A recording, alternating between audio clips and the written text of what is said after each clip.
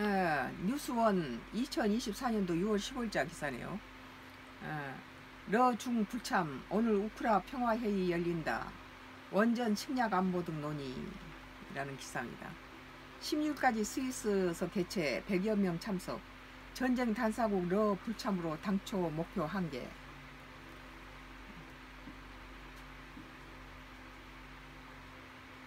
어, 세계 주요 지도자들이 15일 현지 시간 블로드미르 젤렌스키 우크라이나 대통령과 함께 러시아 우크라이나 전쟁을 종식시키기 위한 방법을 모색하기 위해 스위스에 모입니다. 뭐 푸틴이 뭐 젤렌스키한테다가 휴전하자고 어, 어, 그랬는데 지금 젤렌스키가 거절했잖아요. 로이터 AP 통신 등에 따르면 이날부터 16일까지 스위스 나드 발렌 발덴주 베르겐 슈, 슈톡에서 우크라이나 평화회의가 진행된다. 스위스는 이번 회의에 프랑스, 독일, 이탈리아, 영국, 캐나다, 폴란드, 일본 등 주요 정상들을 비롯해 관련 단체 인사들을 포함해서 100여 명이 참석할 것이라고 밝혔다.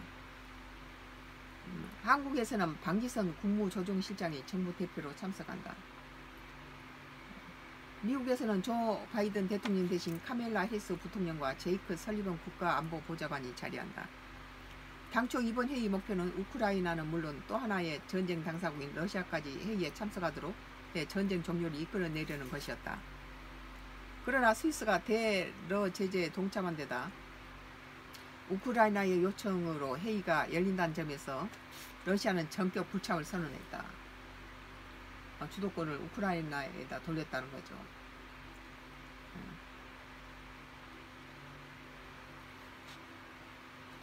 푸틴 대통령이 우크라이나 평화회의 개막을 앞, 하루 앞둔 14일 우크라이나가 러시아 점령지에서 군대를 철수하고 북대서양 조 약기구 나토 가입을 포기하면 즉시 휴전하고 대화에 나서겠다고 밝힌 것에 대한 지도자들의 추가 발언도 주목된다. AP는 참가자들은 결과 에, 문서 또는 공동 계획을 중심으로 단결할 것이라며 문구 마련은 작업 진행 중이라고 전했다. 한편 에, 중국은 브라질과 함께 러우 전쟁에 대한 별도 평화 계획을 추진 중이다. 여기에 러시아와 우크라이나 양측의 참여를 요청하고 있다. 러시아는 이 같은 중국 노력에 지지를 표명한 반면에 우크라이나는 중국이 이번 스위스 회의에 불참하기로 한 결정에 불만을 갖고 있는 입장이다. 에, 나의 정치적 코멘트는 지구상의 전쟁을 종식 에, 전, 전, 전쟁은 종식되어야 한다. 전쟁 무기가 아, 어마어마한 파괴력을 지닌 현대전에서 어, 장기전은 갈수록 강력한 무기를 사용하게 하, 사용하게 되죠.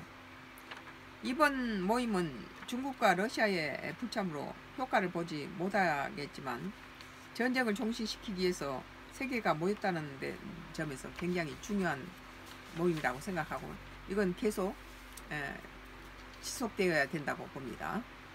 어, 뉴스원 어, 2024년도 6월 15일자 기사. 러중 불참. 오늘 우크라 평화회의 열린다. 원전 심리학 안보 등 논의라는 기사에 대해서 나의 정치적 코멘트를 했습니다.